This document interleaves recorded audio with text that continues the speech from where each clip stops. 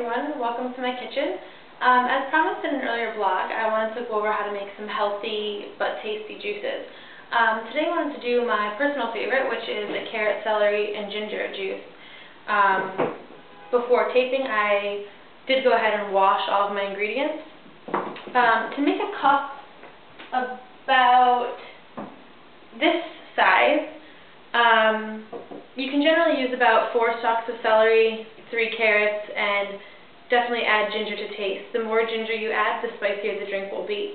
Um, in addition to just using organic vegetables that are very sweet, the drink will taste very good, but there is also nutritional value in using these three ingredients. Carrots, to begin, are very high in vitamin A, which is good for your vision. I think everyone knows that about carrots. But also it really does help to strengthen your teeth and your bones, things like that. Um, celery is also has a lot of vitamin A, but is good for other things as well. It definitely balances the acidity and the pH levels in your body, in addition to being an anti-inflammatory.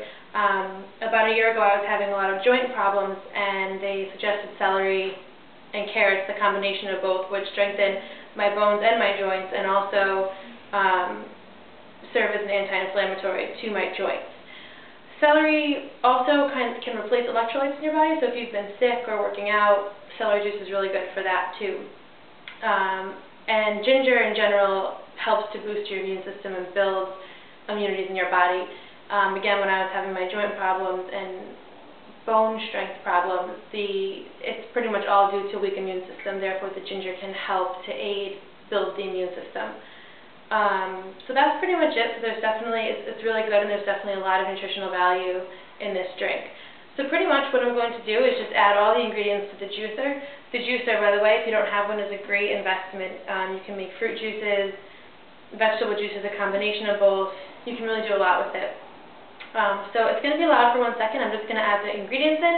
And I personally enjoy a spicy drink. Uh, I also like the taste of ginger. So I'm going to cut off about this much of ginger and add that in. That will definitely be pretty spicy, but it will work.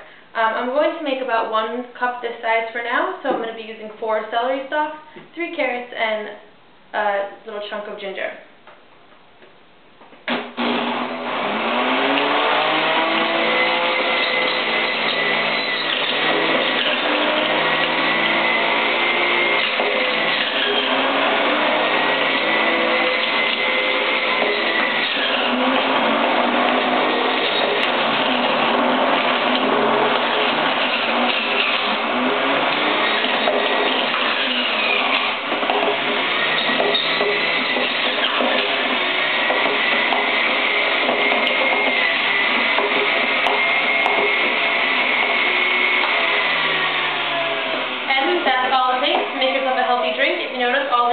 Out on this side, and everything else has been put in this compartment back here. Um, now all you have to do is pour your drink. There'll even be some left over. And enjoy.